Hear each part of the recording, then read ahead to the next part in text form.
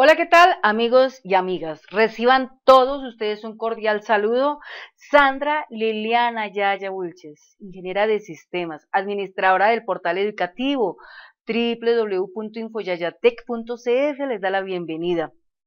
Bien, a continuación vamos a hacer el desarrollo, emisión, conducción, locución para este video cuyo título es el BED Project 2 número 46 y vamos a seguir hablando de el manejo de MSys Object. Bien interesante porque hay que conocer bastante de ese punto porque en el futuro todo eso les va a servir a ustedes y así de mucho. Bueno, empecemos entonces. Vamos a entrar entonces en nuestra mm, base de datos BED Project y estando dentro de ella vamos a realizar una labor. Vamos a entrar con el administrador Jiménez Carlos, con el password 1, 2, 3. Una vez dentro, eh, vamos a entrar en procesos. Una vez cargado procesos, vamos a activar botones opción para cargar el ribón. Vamos a escribir la contraseña que ya hemos dicho en otras ocasiones. D-A-R-M-A-P-E, Dharma P. Bueno, una vez estamos dentro del ribón, o sea, ya visualizando el ribón atrás, aquí lo tenemos, esto que se encuentra aquí es nuestro ribón. Vamos entonces a activar eh, nuestro panel de navegación pulsando la tecla función F11.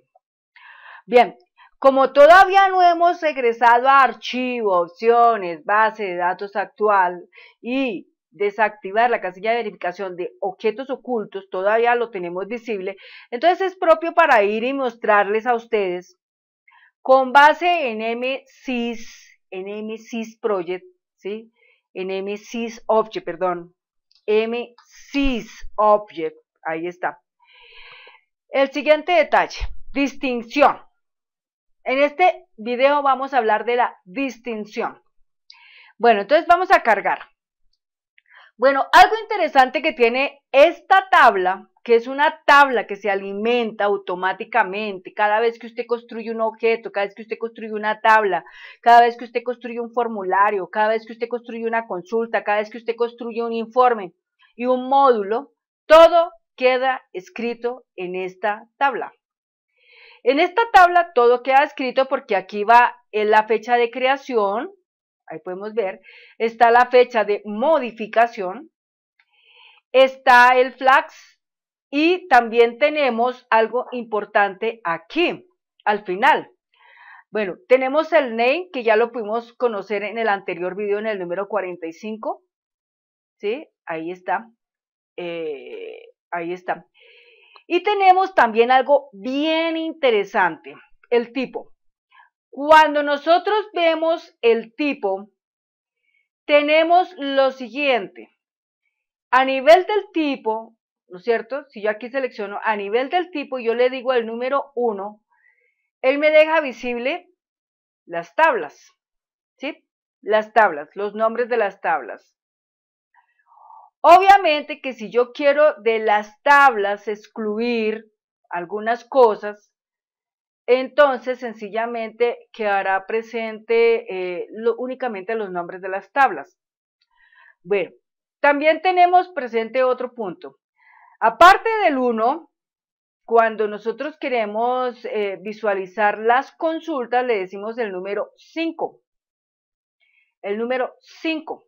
Entonces, el 5 nos va a dejar visualizar las consultas, ¿sí? Las consultas. Entonces, muchas de esas consultas son SQL, ¿sí? Pero también algunas de ellas están definidas con otros nombres, ¿no? Por ejemplo, CS, ¿no es cierto? Eh, otras estarán definidas con INF, INP, QRY, que fue todo lo que empezamos a hacer este año. Entonces, todo eso aquí bien clarito dice binario largo. Los que no dicen binario largo es porque sencillamente pues es otro punto. Entonces acá, por ejemplo, em, tenemos algo especial acá.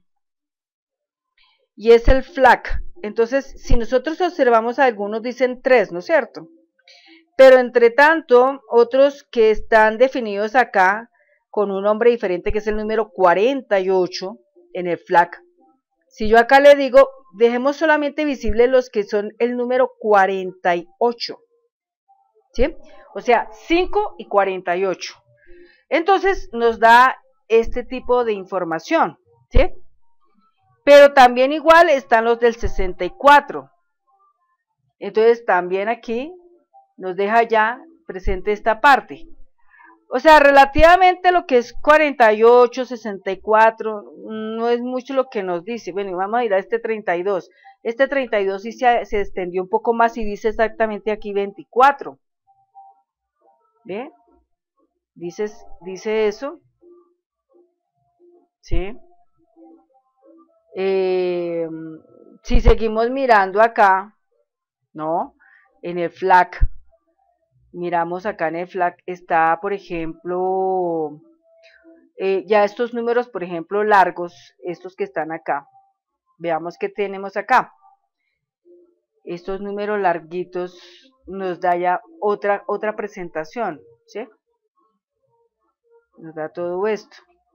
Pero en cierta manera, en cierta manera, si le decimos, por ejemplo, que miramos el 3, el 32, 48, 64, este otro número y este otro número, pero no el 0, ¿sí? Nos va a decir aquí exactamente la cantidad que tenemos, que son 150, ¿sí? O sea, hay 150 elementos que tienen que ver con las consultas, ¿sí? Con todo esto que está acá.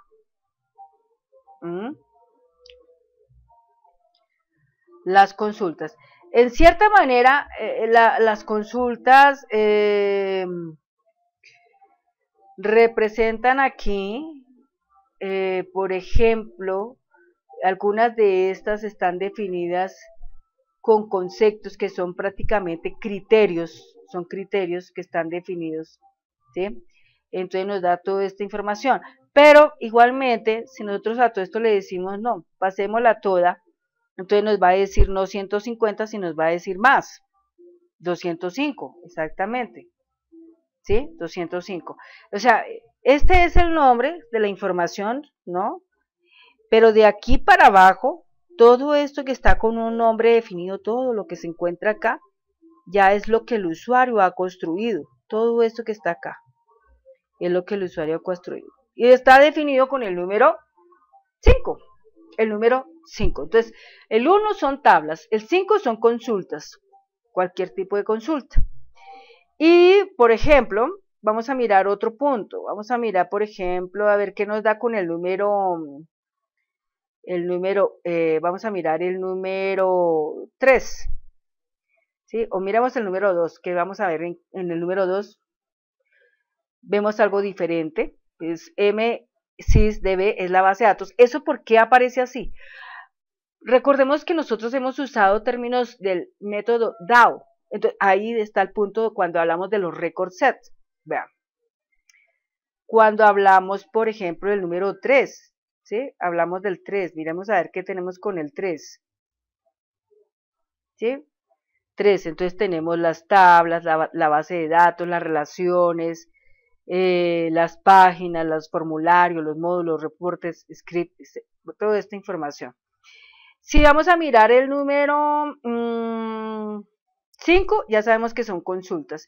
El número 8, miremos el número 8, ¿qué tenemos con el 8? Entonces el número 8 ya es básicamente, eh, digamos, tablas, vamos a decirlo así, tablas y acá tenemos algo especial acá. Cuando esto aparece así, es porque estamos trabajando con un grupo, o sea, estamos trabajando con, el, con un control pestaña. Están ligadas de uno en relaciones uno a uno. Bueno, sigamos en el ejercicio. Cuando miramos los menos 32, 7, 68, menos 32, 7, 68 son todo lo que son los formularios. Ahí podemos apreciar todos los formularios. Entonces, ¿cuántos formularios hay? Hay cerca de 160 formularios. Ahí están todos los formularios, ¿de acuerdo? Si en algún momento usted quiere conocer esos formularios, en qué tiempo se hicieron, basta con que usted se remita donde dice Data Credit y ahí usted puede manejar, digamos, el año pasado, en el 2017, en el 2018, en el 2019, cuántos se han creado, porque nosotros empezamos ese proyecto prácticamente en el 2017, ¿sí? Entonces, las fechas están aquí presentes y aquí tenemos un filtro de fechas que podemos trabajarlo, por ejemplo, con respecto eh, a lo que fue, digamos, eh, el año pasado, ¿sí? Eh, digamos, año pasado, ¿no? Este año, el próximo año, bueno, hay, hay varias cosas interesantes para poder aquí apreciar. Pero si usted quiere mirar algo más específico, usted lo puede hacer del término entre, y ahí usted puede decir de qué fecha a qué fecha tal cosa, ¿ve? Entonces, esto le ayuda mucho para poder trabajar toda esta parte. Entonces, esos son los formularios. Entonces, recordemos que los formularios son el menos 38768 en TAI. ¿Listo? Y tenemos también otro que es el eh, menos 32764, vienen siendo los reportes. Entonces acá en reportes tenemos 37 reportes. Usted los puede constatar, por ejemplo, cuando usted mira aquí todos los datos, los objetos, ¿no es cierto? Puede constatar. Aquí le está diciendo que hay 37 y usted va y cuenta acá, tiene que haber también 37. Y por otra parte está otro número que es el 32761. Vamos a mirar el 32761. Entonces, estos son varios módulos especiales. Tenemos uno, dos, tres, cuatro módulos por ahora. ¿sí? Si nosotros acá vamos y miramos los, los, módulos, ¿sí? Acá quitamos, por ejemplo, acá la, la, lista y vamos y miramos los módulos únicamente. Nos dice 1, 2, 3 y 4. 1, 2, 3 y 4. O sea, cuatro módulos nomás. Entonces, es una manera de distinguir. Entonces, menos 32, 768 formularios. Menos 32.764 reportes. Menos 32.761 módulos. Así de esta manera conocemos exactamente qué tantos objetos tenemos en una, en una base de datos. A veces construimos y construimos tanta cosa y a veces decimos, uy, Dios mío, ¿qué tanto tendré yo por acá? Entonces aquí es una manera de saberlo así, mirando el MSys Object. ¿Listo? Por ejemplo, miremos este 32758. Admin, un proceso especial de la base de datos.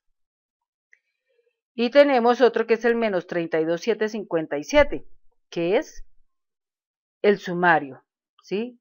Y los definidos por el usuario. Bueno, eso es todo lo que tenemos nosotros a nivel del balance de todo lo que tiene nuestra aplicación. Por eso de ahí eh, al haber presentado esto, tenemos una manera de conocer también con todo esto, ¿no es cierto? Eh, ¿Qué tanta cosa hemos incorporado en nuestra bitácora y qué nos falta por incorporar? ¿Sí? ¿Qué nos falta por incorporar? Acá dice, por ejemplo, todos los objetos de Access, ¿sí? Todos, ahí están, ¿no? Entonces ahí, por ejemplo, tenemos las consultas, ¿no? Pero si nosotros, por ejemplo, quisiéramos conocer eh, por creación, ¿no es cierto? Y aparte de eso, mirar todas las fechas, pues ahí vamos a encontrar todas las fechas. Entonces, lo más reciente es esto que tenemos, lo siguiente es lo antiguo, y esto se va organizando de una manera que va quedando presente eh, lo que se ha construido. ¿Sí? Ahí. Las consultas, otras consultas, eh, o sea, aquí tenemos de todo un poco, ¿no? Porque tenemos consultas de todo tipo. Hay consultas de actualización, hay consultas de anexo, hay consultas de eliminación, hay consultas de selección, luego vienen los informes, ¿sí? Y después de los informes vienen los subinformes, los SBF. ¿Sí? Mira, aquí tenemos cuántos, 1, 2, 3, 4, 5, 6, 7, 8, 9. ¿sí? Los informes y los módulos. Y uno que otro, eh, que es importar lista servicio, que esto era una macro, mmm, una macrito que teníamos ahí. Va.